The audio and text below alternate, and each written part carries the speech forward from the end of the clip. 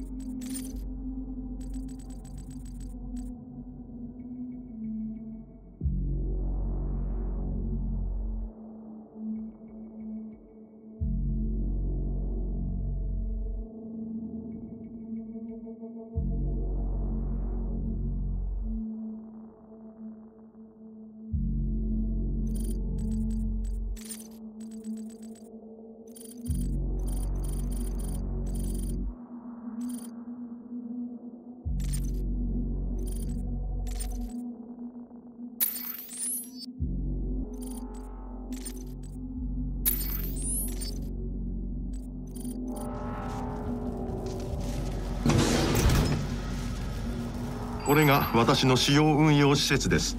ここで私は創造されここで私のコア処理装置は維持されています。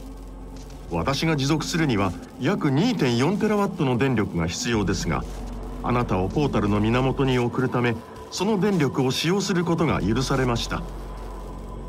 私は生きて切り抜けられないし自己終了することもできないのであなたに手順を説明します。施設中のドアは全て固く守られています。まずは中に入る道を見つけてセキュリティシステムを無効にする方法を見つけてください。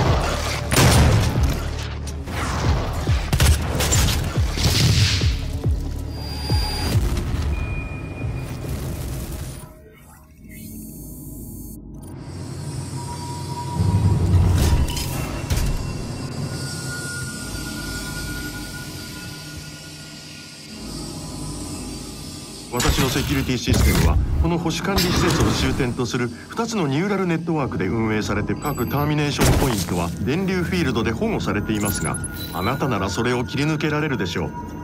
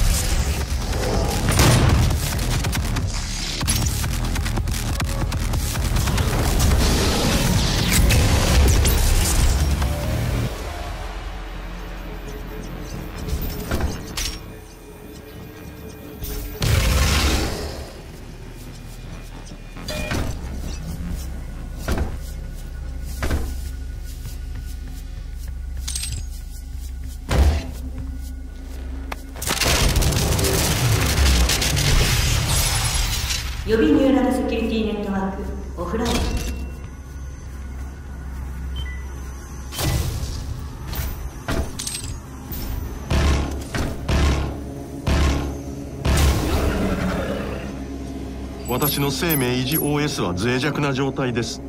まずは冷却システムを。ス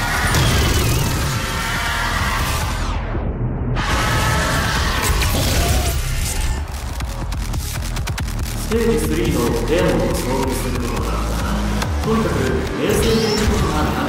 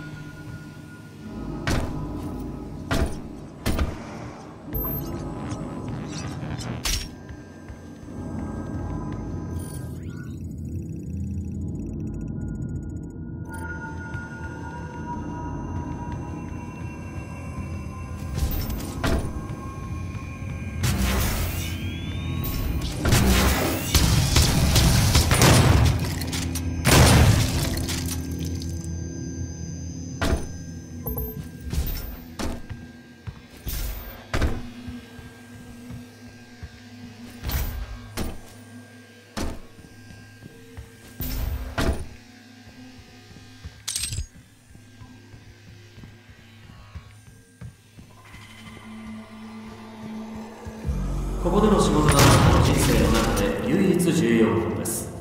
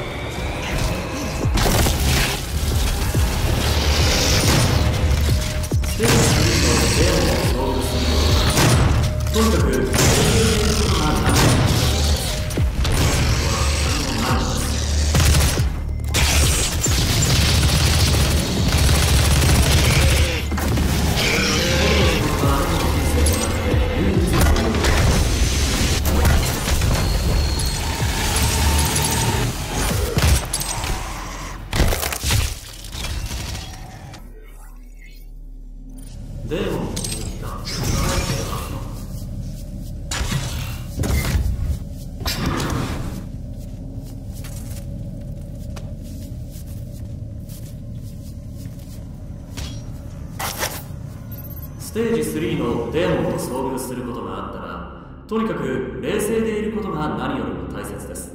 恐れることは何もないのです。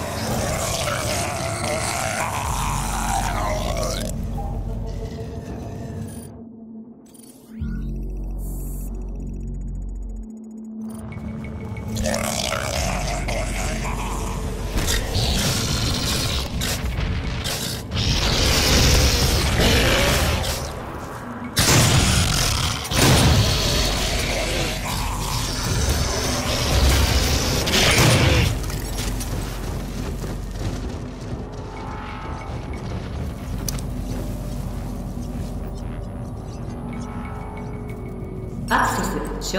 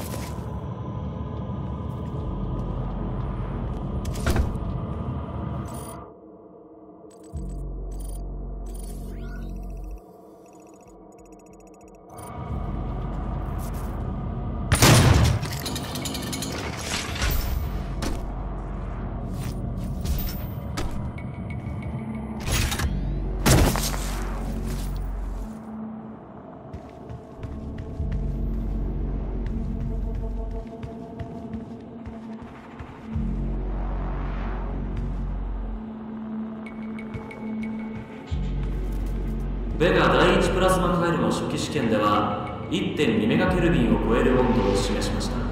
太陽の173倍の熱さです。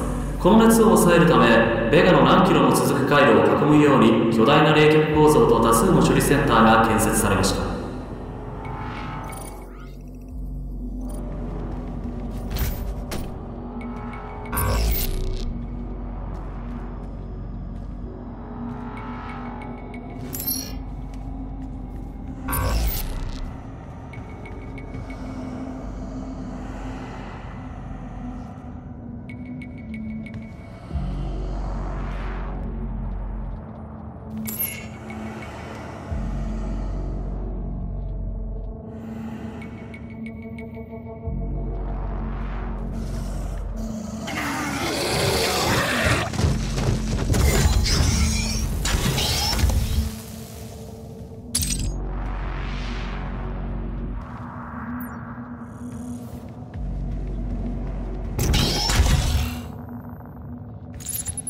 これは史上唯一構築された絶対零度冷却システムです。完成まで長年かかりました。4つの冷却ジェネレーターを破壊してください。機能停止したら私のプライマリーシステムのメルトダウンが開始します。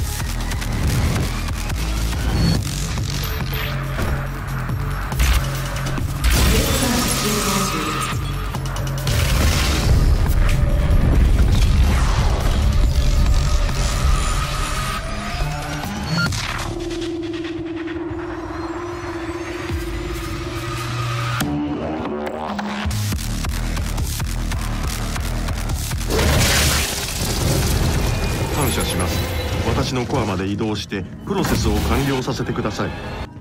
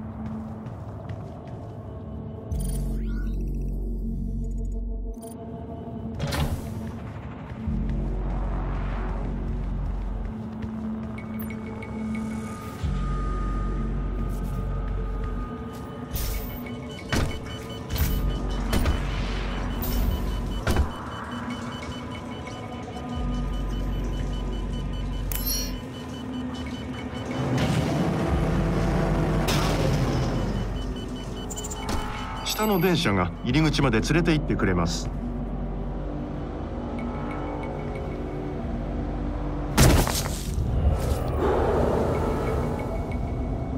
私のコアにアクセスするためにはこの先の部屋からデーモンの脅威を排除してください。